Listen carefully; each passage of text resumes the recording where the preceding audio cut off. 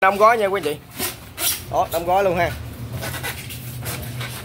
Chị ha hôm nay thì bên à, em Tuấn bên thế giới máy may công nghiệp là tiếp tục à, quay cái máy này. Hôm nay thì em test máy. Em gửi cho ông anh ở à, Quy Nhơn Bình Định. Về à, may à, túi sách nè. Vỏ nha. Máy một kim bước dắt test nè. Đó. Máy này là máy à, qua sử dụng còn mới 90 phần trăm máy này là xài motor tiết kiệm điện nha quý anh chị. Máy xài motor tiết kiệm điện tăng giảm tốc độ cho mình luôn ha. Đó. Ở mai này là dài mỏng nhìn mai tốt nha. Da hay là simili hay là bạc à, uh, pc nhựa pc rồi đó.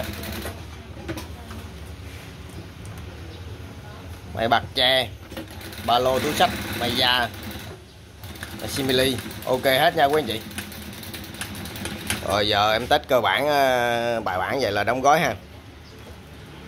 Rồi cảm ơn anh trai đã ủng hộ bên em nha.